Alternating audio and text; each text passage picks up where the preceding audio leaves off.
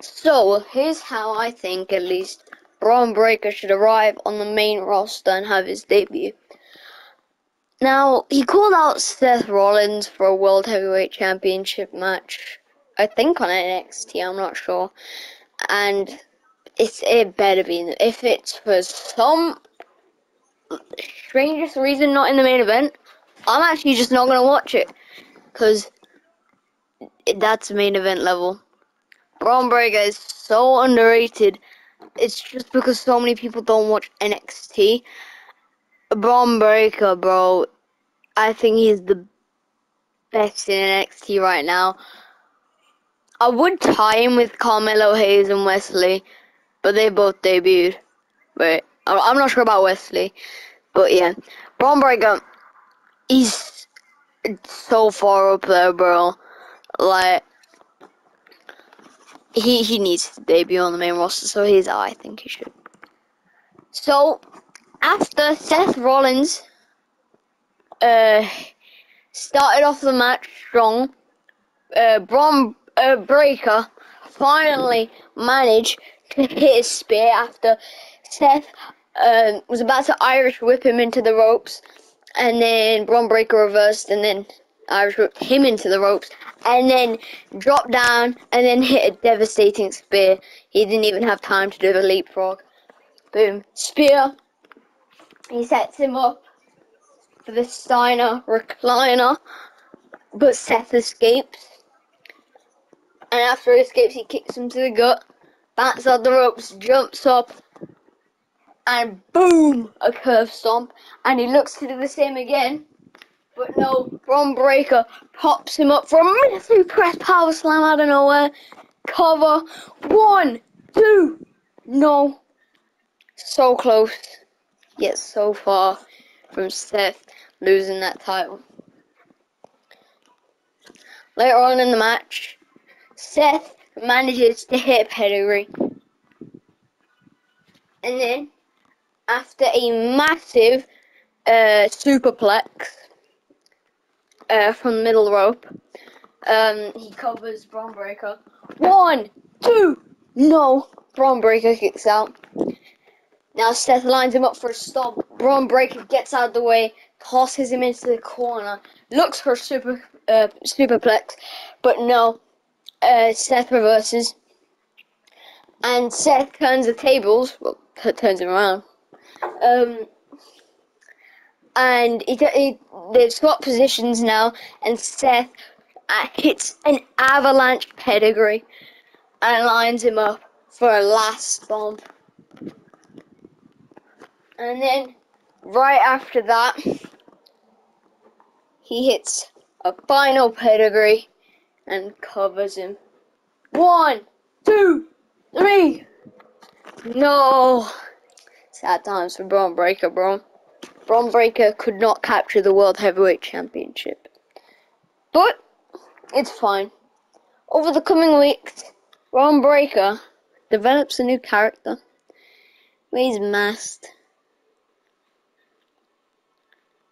But he has a very peculiar mask.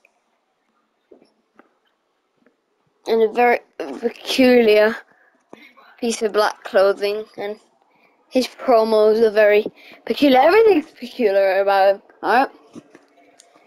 And obviously, we're getting close up to money in the bank. And there is said to be three mystery people participating in the match. One is a returning Drew McIntyre. So first all the people come out, so I, I'll probably say it is six man ladder match, right? I think. Uh, I'm not sure. Or is it, if it's eight man? If uh, let me do six man first. If it's six man, um, Jimmy Uso. Uh, yeah, Jimmy Uso. Um, Kevin Owens. Uh, Cody Rhodes. Brock Lesnar.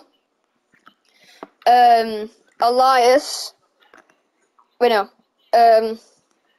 Take away Elias and that the Brock Lesnar. Um, uh, then uh, Randy Orton, Drew McIntyre, and uh, Mystery Man. But if it's eight man, then um, put put, put them two back in. um, but yeah, I feel like there has to be at least two mid card talent and maybe even a bottom card talent. But I think Carmelo Hayes should also be in there. But when Bron Breakker's music hits, everyone is like, yes! But it quickly switches to boos as it is not Bron Breakker. It is another masked man who is mocking Bron Breakker. He unmasks. And it's Seth freaking Rollins. But then from behind, here comes Bron Breakker. He's attacking him. At least we think it's Bron Breakker. Because he's also wearing a different outfit. And then he waits for two other masked people. Uh, apparently this is going to be a nine-man ladder match.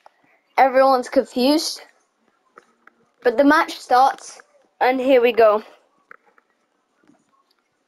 Brock Lesnar manages to hit a massive F5 on Cody Rhodes, and Brock Lesnar is targeting Cody Rhodes for the entire match. So that's already two people out of the equation.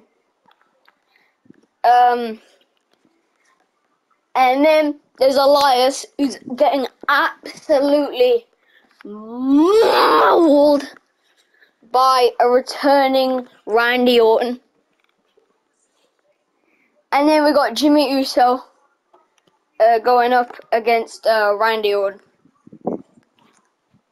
So that's boom, six people out the equation. And at the top of the ladder, though, is one of the mystery men who isn't wearing Bron Breakker's clothing. And there's one at the bottom who is. And everyone's a bit confused. Until Cody looks for a crossroads from the top. But no, that other dude uh, hits a military press power slam and he uh, slams Cody down and he, then he tosses him out the ring. And then he steps out the ring. It is Bron Breakker. and then boom, what happens is uh, Bron Breakker uh, exits the ring and uh, goes backstage, and the other mystery man at the top of the ladder wins Money in the Bank. Now, what happens over the following weeks? There are many promos which just him getting interviewed. And to close, um, uh, to close off uh, the Raw or SmackDown uh, after. Um, I put wait Raw right Raw after Money in the Bank to close it off uh, after the main event is well, no, nah, it's in like it's smushed exactly in between uh, the main event uh, and the co-main event. Um, uh, and the three mystery men. Well, uh, well, no, Seth is there, and there's the two mystery men uh, on the Grayson Waller effect. So I think that would be a good way to get Grayson Waller some exposure on the WWE TV, obviously. Um, and uh, I think that one of them should flex the money in the bank briefcase, and then Seth hits a pedigree on the one who looks like Bron Breakker, but then the one who um, doesn't look like Bron Breakker proceeds to beat him up, but he doesn't really use any Bron Breakker moves. It's quite strange. Well, obviously not, you know.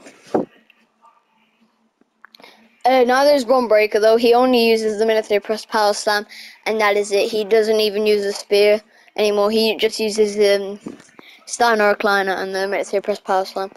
Um, but Mr. Bron Breakker, um, he's over here flexing with his new friend, who we still don't know And now Bron Breakker's officially unmasked, and he betrays the first masked man. But what's strange is we see it backstage, and we only see Bron Breakker's face. But wait. Bron Breakker wasn't in any of those uh, wasn't any of those masked men. And then there's some confusion before before they both start attacking Bron Breakker. And then we see Seth in the background laughing. Now, Breakker is off. Um, he attacks the masked men at any chance he gets. But the one in all black, Seth, Seth, um, Seth Rollins, um, actually cuts a promo in the uh, right after a match uh, at SummerSlam. Uh, uh, right, uh, right after the co co main event. Um, Seth cuts a promo real quick, and he's saying, "So where's the guy in the black? Because there's two men in grey. But I swear when I had the interview with them on the Grayson Waller effect on Monday Night Raw, one of them was black. One one of the one of them was in black. Oh shit! One, one of them was in black. Oh god, I'm I'm sorry, I, I worded that wrong. But yeah, one of them was in black. Um, Oh Jesus, I'm so sorry. Oh God, cancel me Twitter. I dare. do Uh, do it. I don't even have Twitter, so it's not my winner. How about that? Um, I think. No, no. Uh, Seth says. I don't think any of them were. and then Bron Breakker's music hits, but no one comes out. But the two grey masked men come out in the crowd, and they run after uh, Seth, and they both lift up Seth military press power slam. Double military press power slam. And then Bron Breakker's music stops before it starts again but it's distorted. And now we see a masked man, uh, the black masked man, walk to the ring. And he unmasks. It's Bron Breakker this whole time. He grabbed two of the people who were about to unmask him.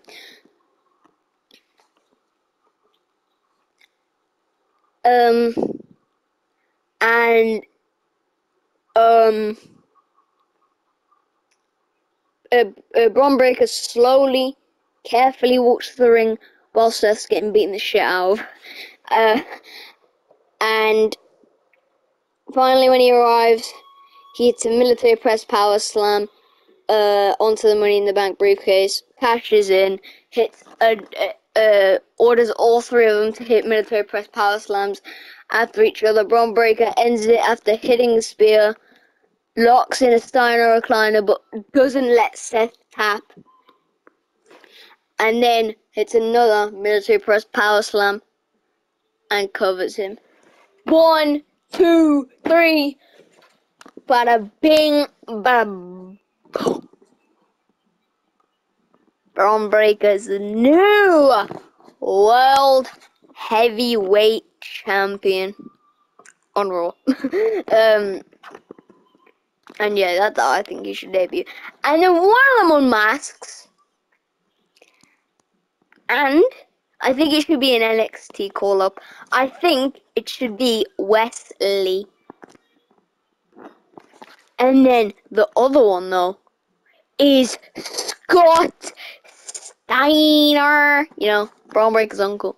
I think that would be amazing. Um, but yeah, shortly though, it would just be a tag team after Bron Breakker loses the World Heavyweight Championship to Cody Rhodes, and then cuts a promo saying that he doesn't want it. Uh, he wants the Undisputed Championship. We hear Roman Reigns' music hit. Um, but he walks in with Bron Breakker, Paul Heyman, uh, Jey Uso, and Solo, and Bron Breakker rushes to him and proceeds to beat the balls out of Cody.